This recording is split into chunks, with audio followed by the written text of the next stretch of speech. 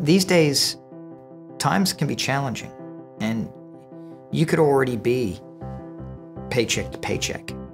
And then there's a car accident and it takes you out of work for a period of time and it runs up your medical bills.